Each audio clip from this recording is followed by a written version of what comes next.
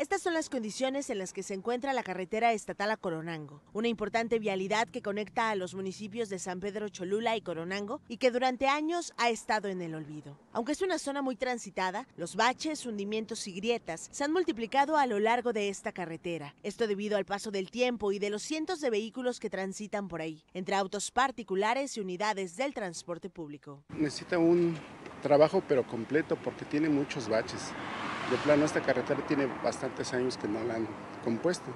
Entonces, pues yo creo que si nada más es tapar hoyitos no conviene.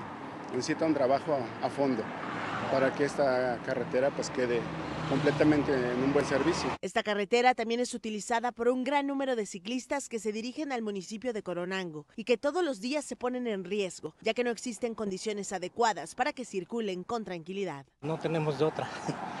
Si nos ampliaran la carretera, pues sería otra pues nada más. Pues un tramo de ciclovía y que las respetaran porque las ciclovías están invadidas por donde sea.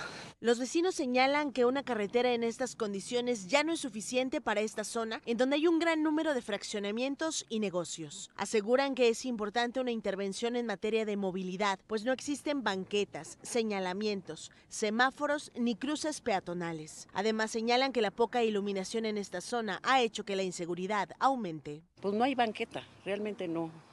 Incluso aquí también para entrar al fraccionamiento, sí como que es peligroso porque vienen encarrerados y uno no, se tiene uno que detener y, realmente es peligroso. Ya ha habido varios choques. Aquí afuera pues nada más está este foquito, pero sí en la noche sí está oscuro, muy oscuro.